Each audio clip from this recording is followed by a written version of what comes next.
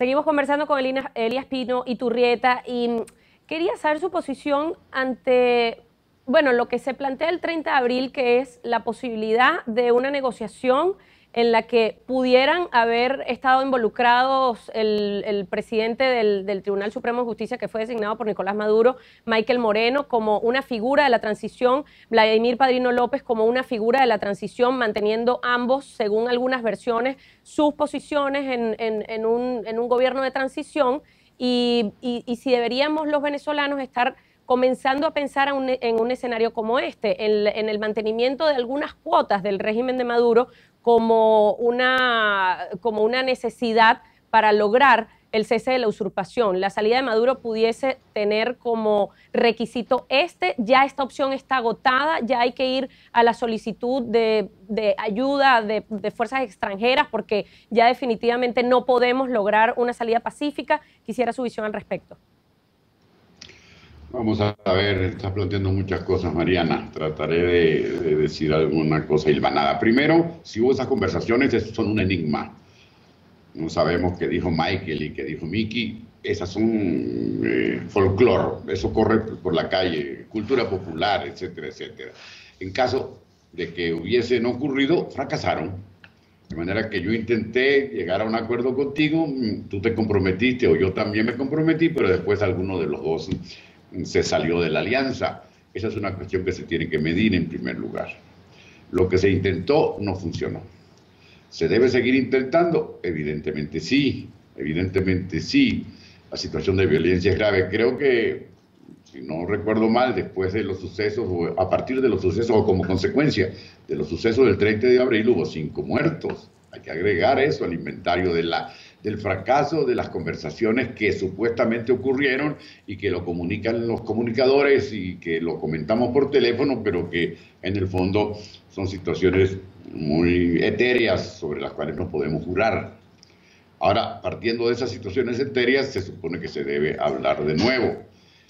Eh, si hubo cinco muertos y si hay mayores riesgos de violencia, evidentemente se deben evitar.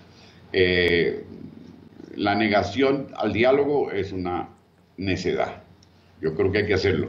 Pero partiendo del hecho de cómo han fracasado todos los diálogos de la última década, no solo el histórico de Santo Domingo, sino uno anterior al de Santo Domingo que trató de iniciarse en el Palacio de Miraflores con bombos y platillos, como consecuencia de que el gobierno se niega a escuchar. El gobierno tiene una sola versión de la historia, de la vida y de la política amarrada en una ideología. el entendimiento de la realidad por parte de la oposición es más versátil y más heterogéneo. Deja de serlo si antes de, los diálogos lo piensan mejor y hacen un programa conjunto. Esa es otra gran dificultad. Hablar con el sordo, es decir, en este caso con el que no quiere oír.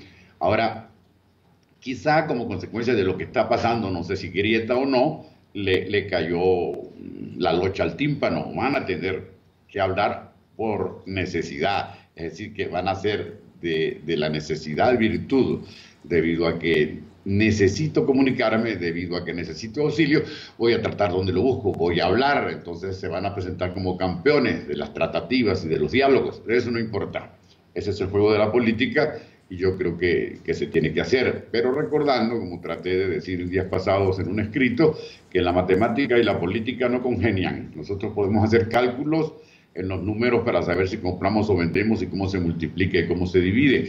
En la política, que es un arte empírico, como dice Maquiavelo, no se, puede, no se pueden hacer esos pronósticos.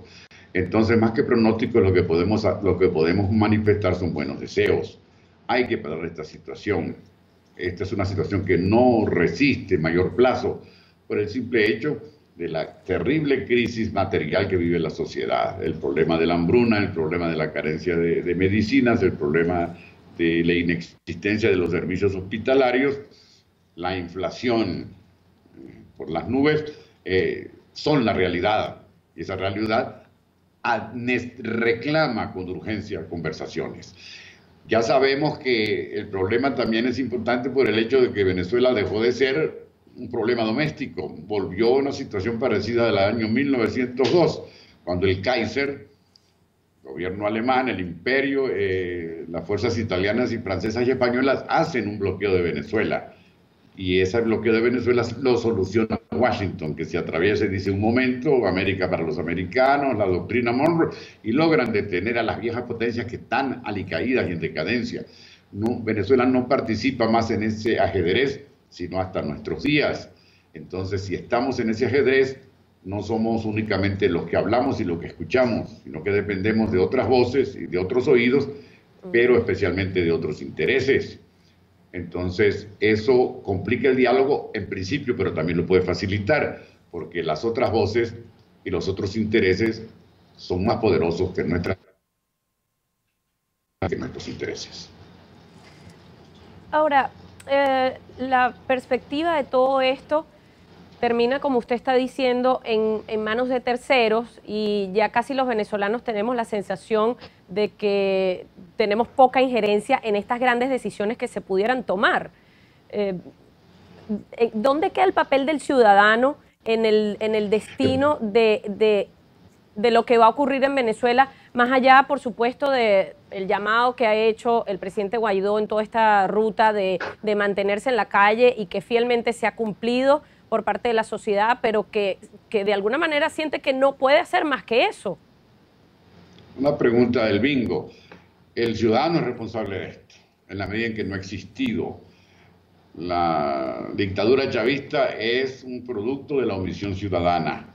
La usurpación de Maduro es un producto de la cobardía ciudadana los sucesos que han ocurrido son producto de la vacilación ciudadana. Aquí no hay que buscar otro responsable. El responsable es el pueblo de Venezuela, primero porque aclamó a Chávez, en segundo lugar porque lo soportó y porque vio con ojos tranquilos el paso hacia la usurpación.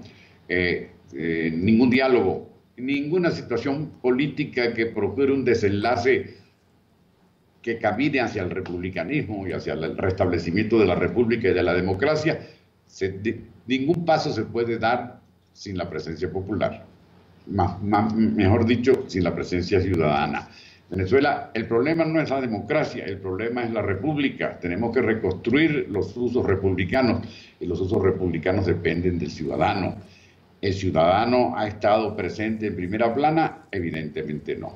El ciudadano ha hecho historia como le reclaman las circunstancias? Evidentemente no. De allí que entonces el ciudadano a medias, si es que existe, prefiere entregar su destino y que otras voces, otros intereses que se supone son más altos y más poderosos, mm, resuelvan y nos lleven a la tierra prometida. La tierra prometida no se logra sin ciudadanía, es decir, sin republicanismo. Y esa es una falla que no se ha observado en general. Yo por maniático y por historiador la observo, y también quizá por viejo, pero es un problema que deberían mirar prima facie los políticos, los dirigentes políticos. Ahora, pero entonces, tomando, tomando esa reflexión, hay un alto riesgo porque eh, pues hay una espada de Damocles sobre el presidente encargado Juan Guaidó y es que pudiesen avanzar luego de que se decidió este allanamiento a su propia inmunidad parlamentaria, podrían avanzar a una detención. Él podría quedar encarcelado y siendo él quien es la punta de lanza de, toda esta, de todo este proceso de transición, quien ha encauzado las decisiones, las movilizaciones, ha sido él. Si él llega a estar detenido, ¿estamos los ciudadanos venezolanos preparados para asumir la conducción de la transición a la democracia sin tener ese liderazgo? Nuevamente la figura de el gran Mesías en la que él se ha convertido llegar a desaparecer, todo esto se desmorona. Así como te dije, o traté de decirte, hablar algo sobre el problema de la ausencia de ciudadanía, conviene matizar para, no, para que no nos vayamos todos directamente al cementerio de la política. Hay una generación nueva que no participó en la desaparición de la democracia representativa antes de la llegada de Chávez y que no tuvo tiempo, por suerte, por problema cronológico, porque nació en el momento adecuado, de, meterse desde el principio en los horrores del chavismo.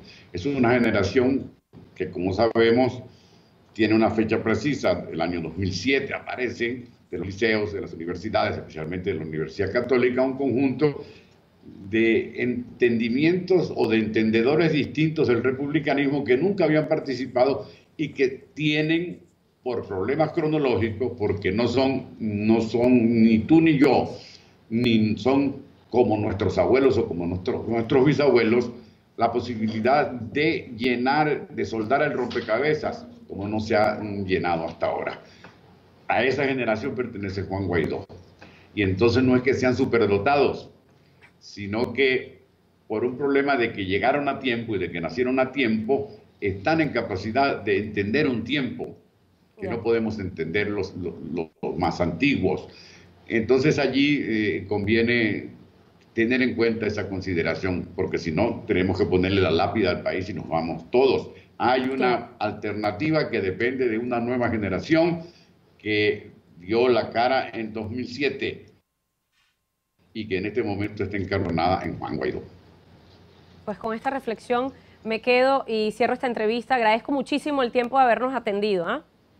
Gracias por invitarme, Mariana, muy amable. Siempre un placer escucharlo, al profesor Elías Pino Iturrieta. Vamos a marcar una pausa y damos eh, el inicio luego al próximo código de esta noche, en Código 58.